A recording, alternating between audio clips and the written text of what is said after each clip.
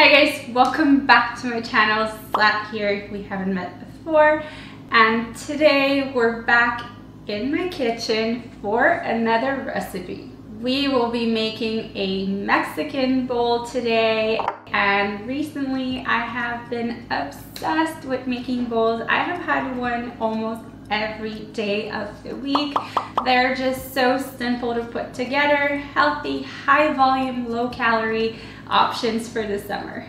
So you will need two larger bowls and I use these ones. I got them at Zone Maison and they're the perfect size in my opinion. You can just put all the ingredients side to side and then put your protein or your carbs in the middle and it doesn't overflow when you eat it and the presentation I find is really pretty.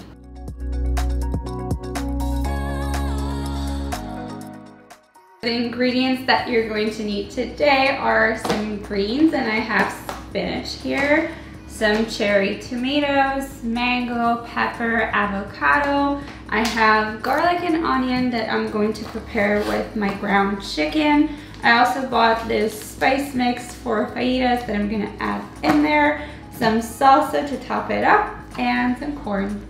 Let's prepare the chicken first.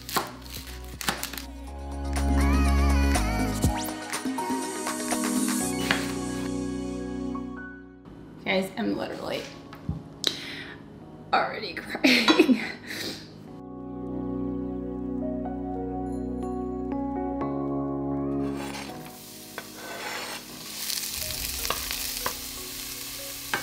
These are just ginormous garlic cloves.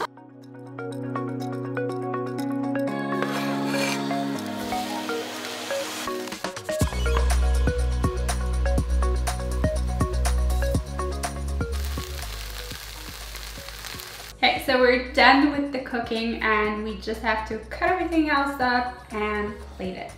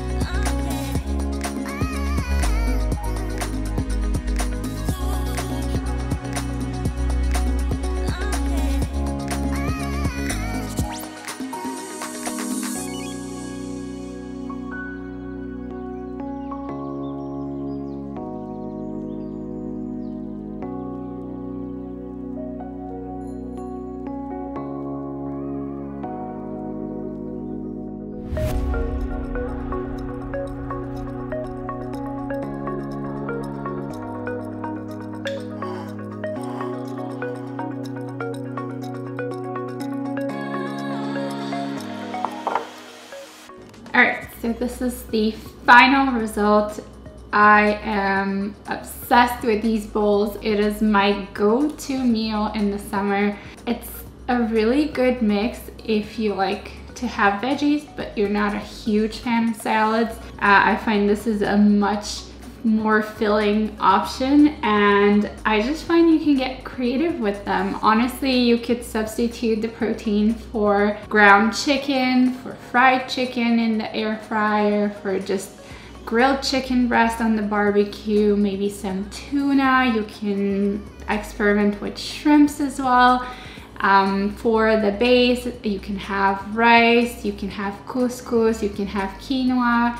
Uh, you can make potatoes, sweet potatoes, etc.